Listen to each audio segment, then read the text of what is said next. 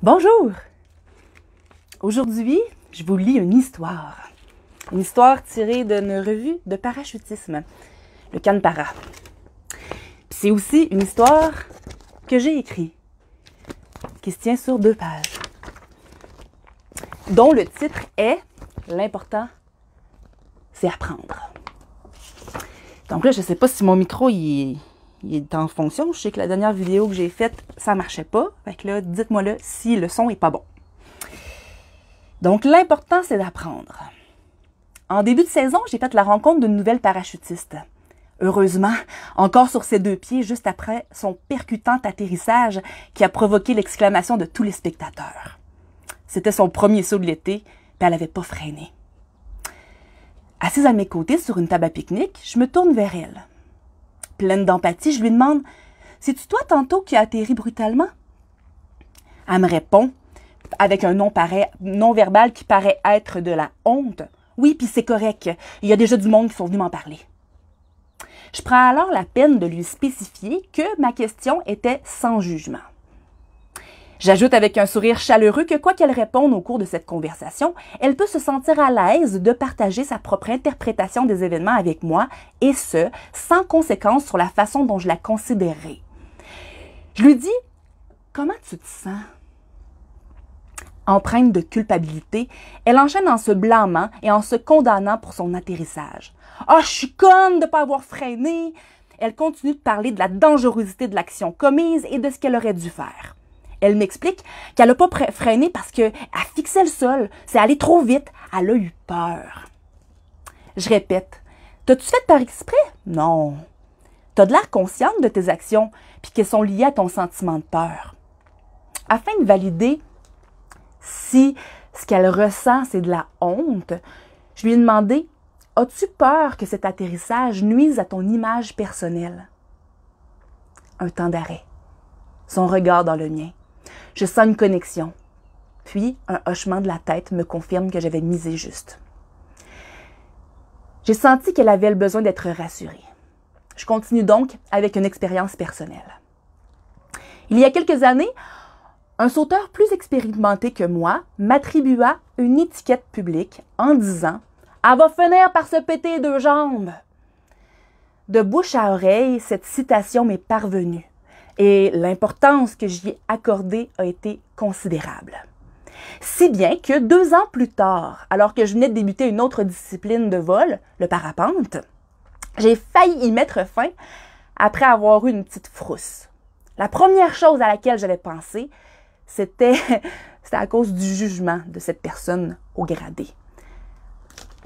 Ma peur d'y donner raison était plus grande que ma peur de me faire mal ça, ça avait un impact négatif sur ma prise de décision. On va comprendre un peu plus tard pourquoi. Je discutais, en revenant de voyage, avec mon chum sur la possibilité de cesser le parapente. Fait que, il m'a demandé ce que j'avais besoin d'entendre. J'y ai répondu avec vigueur et affirmation. Ben, je me pèterai pas les deux jambes. Je suis pas comme un tel qui falsifie son logbook. Ben, c'est parce que il y a deux personnes dans mon, dans mes connaissances dont on avait dit, on avait prédit la mort et c'est arrivé. comprenez-vous un peu pourquoi cette, euh, cette étiquette-là qu'on m'avait mis m'avait percuté autant? Je voulais pas, encore une fois, que les autres aient dit la vérité sur, tu sais. Donc, à ce moment-là, moi, j'ai répondu à mon chum, ça m'arrivera pas. Tu sais, je suis pas comme un tel qui falsifie son logbook. Je suis pas comme une telle qui prend de l'alcool avant d'aller voler. Tu sais, je, sais que je suis une beginner, je participe aux formations.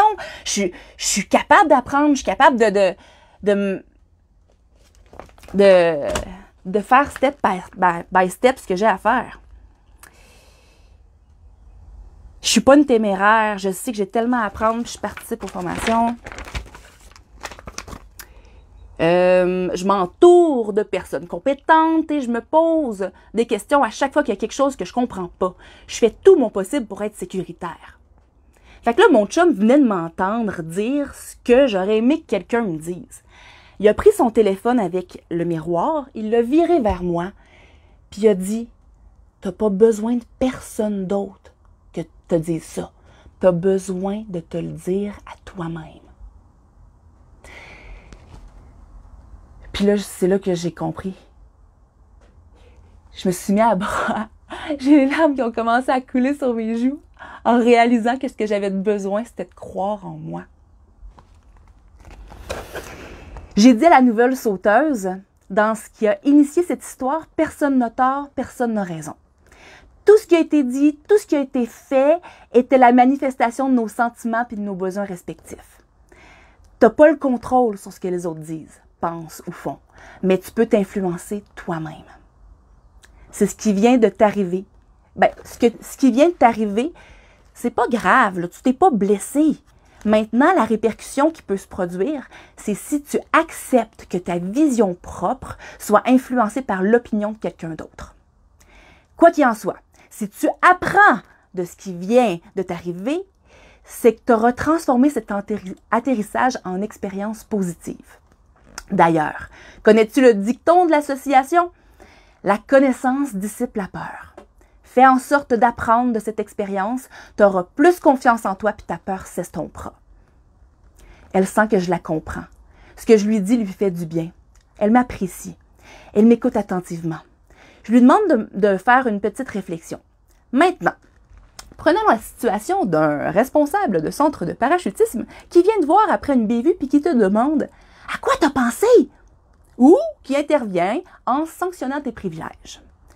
Ne penses-tu pas que ces paroles ou ces actions sont simplement la manifestation de son besoin à lui d'être rassuré? L'inquiétude peut se manifester par de la fougue. Il veut pas qu'un accident survienne sur son terrain ou que quelqu'un soit blessé. Il a besoin d'avoir confiance en l'aptitude de ses sauteurs.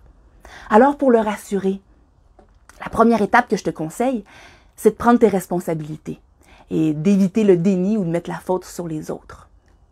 Si tu si tu comprends pas ce qui t'est arrivé, n'aie pas honte. Pose des questions. Demande-lui quelles sont ses attentes. Manifeste ce désir d'apprendre. Explique et répète ta compréhension de l'événement. Si tu traduis l'altercation comme une punition méritée, il y a des fortes chances que ça l'engendre un jugement négatif sur toi-même de ta part. Ah, oh, je suis pas voilure. Ah, je suis téméraire. Fait que si tu l'aperçois comme une injustice, tu pourrais ressentir de la haine envers la personne par laquelle tu te sens persécuté. Il y a tellement d'interprétations possibles. Mais si ton besoin, c'est d'augmenter ta confiance en toi pour avoir moins peur au prochain saut, toutes ces pensées négatives sont un détour inutile. Donne-toi plutôt de l'empathie. Jumelé avec la volonté d'apprendre, tu seras encore plus prête pour sauter à ton prochain saut. La vie, c'est pas ce qui t'arrive, c'est comment tu l'interprètes. Tu es le personnage principal de ta vie, mais en plus, tu es l'auteur. La nouvelle sauteuse semblait émue de notre conversation. Elle en ajoute sur des confidences de son passé. Elle m'ouvre une fenêtre sur qui elle est et j'interprète ceci comme un témoignage de confiance l'empathie renforce les liens. Et l'empathie envers soi-même contribue à dépasser ses limites. Les conseils que je viens de raconter ne signifient pas que j'ai la vérité infuse. Ce dont je veux témoigner est en perpétuel changement car je suis ouverte au fait que mes opinions soient continuellement bonifiées. J'apprends tout le temps. Pour cette raison, une étiquette ne se colle pas sur moi. Et c'est pourquoi j'essaie de ne plus me porter de jugement, qu'il soit positif ou négatif. Ma mission d'être humble a commencé quand j'ai pris conscience de ce que ça l'impliquait de ne pas l'être. J'ai pas toujours eu un langage qui exprimait la bienveillance, la tolérance et le respect. Je me sens triste d'avoir jugé certaines personnes dans le passé. Grâce à ma découverte de la communication, non, la communication consciente, et de quelques principes dont je viens de vous partager, je me sens aujourd'hui en paix avec moi-même et avec autrui. Par ce témoignage, je me sens heureuse de pouvoir vous inspirer et de vous témoigner mon nouveau départ. Paix et Blue Sky. Avec ça, j'avais écrit ça l'année passée. Ouais, le titre, c'était L'important, c'est apprendre. Peut-être que j'aurais choisi un autre titre aujourd'hui. L'important, c'est de se donner de l'amour. L'important, c'est de, c'est de se donner de l'empathie. C'est ça qui nous permet d'apprendre. Ce fut mon petit live d'aujourd'hui. Dans moins de 10 minutes euh, aura lieu notre première envolée de la journée, ici à Trois-Rivières. D'ailleurs, s'il y en a que ça leur tente de faire leur premier saut en parachute de la saison, ben, vous êtes les bienvenus. Trois-Rivières, Victoriaville, c'est là que je travaille. Alors, si vous voulez sauter avec moi, c'est possible à ces deux endroits-là. Bye bye tout le monde!